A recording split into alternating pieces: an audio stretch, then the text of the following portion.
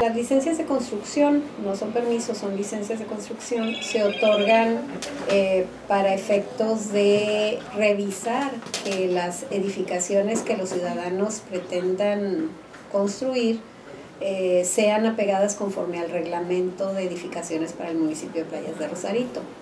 Hay ciertas condicionantes que dependiendo del tipo de edificación el ciudadano o el desarrollador debe, debe dar cumplimiento.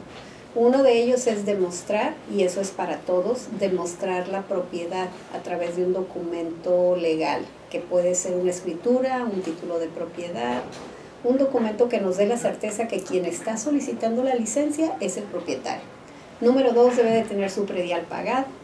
Y en el caso de que sea una construcción nueva, debe de tener un deslinde vigente por la dirección de catastro. ¿Qué es un deslinde vigente?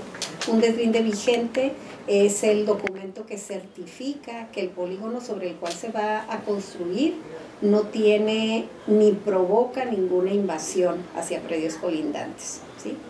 Esto con la, uh, con la necesidad de saber que no estamos provocando alguna afectación a un vecino. ¿no? Teniendo esos documentos, hay diferentes tipos de licencias. Por ejemplo, tenemos las licencias de una persona que va a ampliar un cuartito de 12 metros, 16 metros, que esas eh, no requieren la autorización, más bien la firma responsiva de un perito. Los peritos son ingenieros o arquitectos registrados aquí en esta dirección, tienen que estar vigentes en este año. El año que entra tendrán que revalidarse entrando el año y no requieren generalmente memoria de cálculo, solamente se les pide una memoria de cálculo estructural cuando se detecta que la construcción es en un segundo nivel o tercer nivel.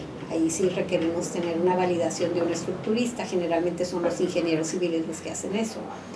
Y en el caso de un proyecto de mayor de 60 metros cuadrados es obligatorio presentar el proyecto ejecutivo completo y el proyecto ejecutivo comprende los planos arquitectónicos, eh, los planos estructurales, los de instalaciones eléctricas, hidrosanitarias, de gas y cualquier otra que fuera necesaria dependiendo del tipo de proyecto. Bueno, mira, el, el hecho de la informalidad en este tipo de actividad es común, ¿sí?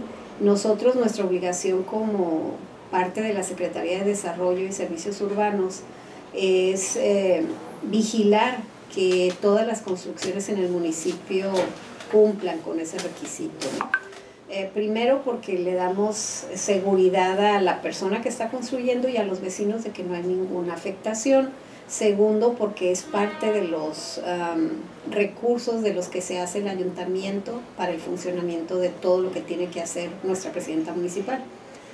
Eh, que sí hay personas que construyen sin licencia, sí, sí las hay, ¿sí? El municipio es muy lineal y tenemos que estar ah, recorriendo todos los días, todos los días el, tramo que le toca a cada inspector para asegurarse que no hay construcciones nuevas y en caso que detectáramos construcciones nuevas en proceso sin licencia, lo que corresponde es que se cite al propietario para que comparezca aquí ante la dirección y se le indique qué es lo que tiene que hacer para estar dentro del marco legal. Mira, la sanción viene cuando el ciudadano hace caso omiso a ese primer citatorio. ¿sí? Si yo te eh, invito a que te acerques para orientarte a qué es lo que debes de hacer y no atiendes el citatorio, te vuelvo a citar y no vienes, entonces pues obviamente como autoridad tenemos la obligación de actuar. ¿Cuál puede ser esa actuación? Una multa económica que va a depender de la gravedad del asunto, ¿sí? de la, la seriedad y el volumen de la obra, o una clausura, clausura de la obra. Yo les invito a que se acerquen aquí al Ayuntamiento de Playas de Rosarito. Estamos en el primer nivel, en la oficina 111, en la Dirección de Administración Urbana. Aquí tenemos personal que los va a orientar, su obligación es orientarlos qué es lo que deben de hacer con todo gusto les recibimos, no estamos para eh, complicarles las cosas, queremos que se acerquen, que tengan confianza en la autoridad y que tengan sus papeles en regla. Dependiendo del tipo de, de, edificación que van a hacer es el costo, pero por ejemplo lo más común que es lo habitacional, estamos hablando que un trámite que empieza por voluntad propia del ciudadano, que no es sorprendido construyendo sin tener una licencia, el costo por metro cuadrado anda alrededor de los 35 metros, 35 pesos por metro cuadrado.